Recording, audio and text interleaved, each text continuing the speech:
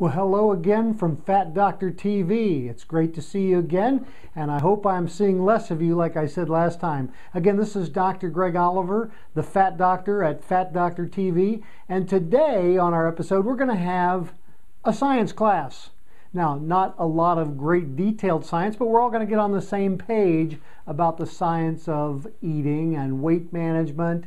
Uh, we're going to break it down into its component parts. And uh, one thing I like to say is that uh, America is on a high fact diet. That's F A C T, high fact diet. We know everything. All my patients, I mean, even 300, 400 pound patients come to me and they know all about uh, calories and points and, and uh, fats and grams, uh, carbohydrates, all that sort of thing. So we're a very knowledgeable group of people when it comes to um, the details but we don't seem to apply those. So today what I thought we'd do is just start at ground zero here, just uh, go over some basics of the science of nutrition, and uh, then we're all on the same page and we can move on from there so we can get into some other details as we go further down the path here. Uh, so I want to review some basic facts about, uh, uh, about uh, food. And the first thing I want to talk to you about is calories. And uh, the term calorie and actually what a calorie is kind of came about back in 1824 by a guy named Nicholas Clement. And uh, Nicholas, or Clement, Clement, uh, Nicholas uh, found that it, he determined that a calorie was a unit of heat. And uh, in science, we don't use the term calorie much anymore. It's kind of obsolete. It's now been turned that that unit of heat or energy is now called a joule, and that's kind of in the international science uh, um, area. But calorie is still used by nutritionists, dietitians, and people in food science. Uh, it's just taken off and become part of it. It's even used on labels. So let me explain that. Uh, scientifically, a calorie is the amount of energy it takes to raise the temperature of one gram of water by one degree Celsius. Then there's a term called kilocalorie, which is like a thousand of those little calories, and that is a term used to raise the temperature of 1,000 grams of water one degree centigrade. So that's all it is. It's just a unit of heat. Now, in food science, what we've done is we've taken the term kilocalorie, the big calorie, and uh, turned that into the amount of energy that is potentially in a substance of food. So it's not that uh, a piece of meat actually has energy in it, it has potential energy. So that when it enters our body, it's broken down into its component parts. And when it meets with oxygen in our body, it's what we call cellular respiration, not the breathing type of respiration, but cellular respiration, where oxygen and a food substance come together and they're broken down into fuel for the cells in our body to use. So Food energy, we use the term kcal or kilocalorie, and that's potential energy released during that cellular respiration process. Now, there are different potential energies for different types of foods. Food components are broken down into fats, proteins, carbohydrates, and alcohols. Essentially, those are the main ones. There are some smaller ones, but those are the main ones that we derive our energy from. Those are our fuel sources. Uh, there are non caloric uh, uh, food sources where we don't get energy from, but we have to have them. Those are water, vitamins, minerals, caffeine, and spices. Some flavors also, natural flavors, have no calories in them. Uh, so those are the non caloric things. Now, a question a lot of people have is how many calories are in these substances or in these components of our food? Uh, and it's been discovered that uh, fat per gram has 9 calories or kilocalories. Uh, proteins and carbohydrate have right about the same amount, which is 4 calories per gram, and alcohol has 7 calories per gram. So suddenly you already know that if I eat more fat or drink more alcohol, I'm going to get more calories uh, per unit or per gram. If I eat protein and carbohydrates, I'm going to get less calories. So there's something that you want to remember. Um, how do they determine this? Well, in the science, they determine this by putting foods inside this uh, machine called a bomb calorimeter, and it basically explodes the food or burns the food, kind of, we'll say burns the food, and determines how much energy is released in that food. Now, because they burn that food to a crisp in there, um, that really burns and uses more calories than our body can can actually get out of that. So gram for gram, our body doesn't get the same amount of calories or energy expended as they do in the in the laboratory. And they calculate that about 85% of that energy that they see in the lab is what our body can actually get or or can be released from those food substances. So um, that's basically uh, the gist of calories and the components and what has calories and doesn't have calories. More importantly, what people want to know is how many calories do I need in a day? This is a very common thing. People come into my office and they say, Doctor, I think my metabolism's low. I don't think I burn up many calories. Well, we can measure it. In our office, we have two different ways to measure it, we're going to talk about that in just a minute. But it's important to know about how many calories you burn resting.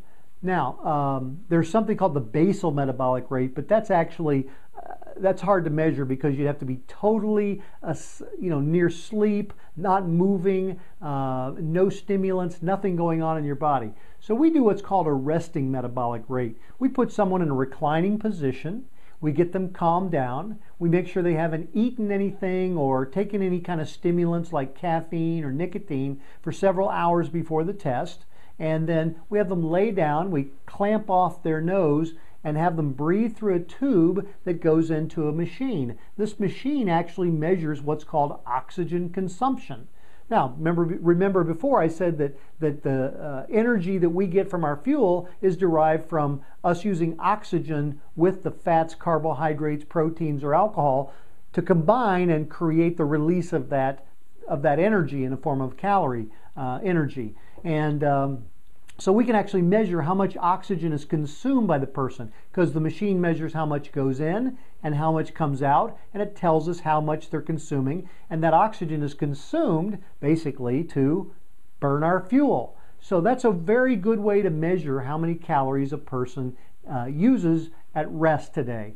Uh, now, also, when we know that resting number, we know some other factors like their age, their weight, um, their lifestyle, things like that, we can get a pretty good idea of how many calories they burn during their normal daily activities, and then also how many calories they burn when they're exercising. So we give the patients a printout that says, here's your resting metabolic rate, how many calories you expend during the day in activity. Here is your basic uh, activity uh, uh, calorie expenditure, and here's what you can burn when you exercise, say for 30 minutes or an hour moderately. So we can give our patients that, and then we can formulate a dietary plan that says, look, if you're burning 1800 calories a day, we need to get you on 13 or 1400 calories a day so there's a deficiency and you can lose weight. This is all basic science, and I'm sure many, many of you have read about this and understand that. But again, we're just kind of all getting on the same page. There's lots of other medical factors too. How much lean body mass a person has. Um, is there's thyroid uh, at the high end or low end of normal? Because thyroid is a gland in our neck. It secretes hormone, and that hormone uh, regulates our temperature, regulates our, our me metabolic rate also. So uh, there are other factors involved. Illnesses, things like that can play a big role. Even the temperature outside or the temperature that we're living in uh, in a room can determine how much uh, caloric expenditure we have. The hotter it is, the more we burn up. The colder it is, the less we burn up. You know, sometimes in the cold weather we have to shiver. And the reason our muscles shiver and we can't control it, we're trying to increase our energy levels because it's dropping in that cold temperature. So there's lots of factors involved. Also, the type of food that we eat. Let's say you're on a high fiber diet. Unfortunately, most of us Americans are not on a high fiber diet, but let's say you're on a high fiber diet. Fiber does have some caloric value, but more importantly, it moves through our system without a lot of calories moving into our system. And in fact, it does absorb fat, so it decreases the amount of fat that we absorb in our body. So if you eat a lot of fiber, you're going to decrease the amount of intake that you get, the amount of calories you get. And so it's important when you read a food label, you can see the fats you can see the carbohydrates, you can see the proteins, the total calories in that particular meal or serving or whatever it is you're buying and reading the food label about. Also, you can see how much fiber is in there because the higher the fiber, the less calories you're actually going to get from that food.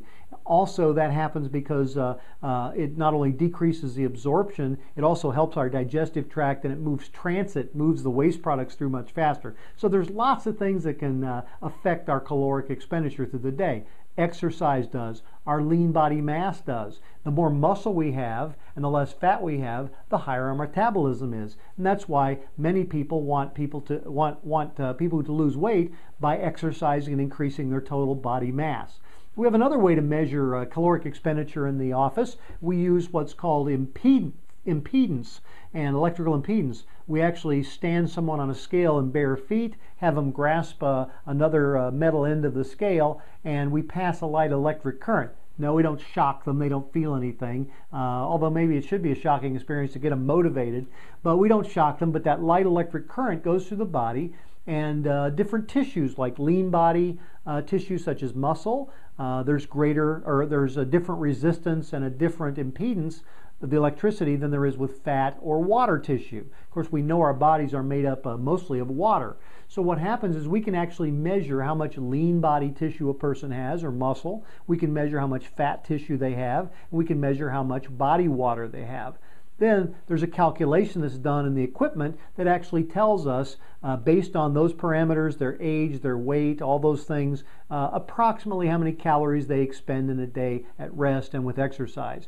That's not quite as accurate as the oxygen consumption method, but it gives us a good idea, and we track that from time to time. And as people are exercising and losing weight, we actually can see their metabolism go up. We can measure that on a month to month basis. So there are lots of ways to do that. Now, hopefully today we've been able to give you some ideas, just the basic facts about uh, calories and fats, carbohydrates, proteins, alcohol, things like that that you're taking into your body, what it means for your metabolism, what it means for your calories coming in versus calories being expended or burned up, as we say. So these are just some facts I wanted you to know. But more importantly, once you know the facts, you have to take that and create a plan.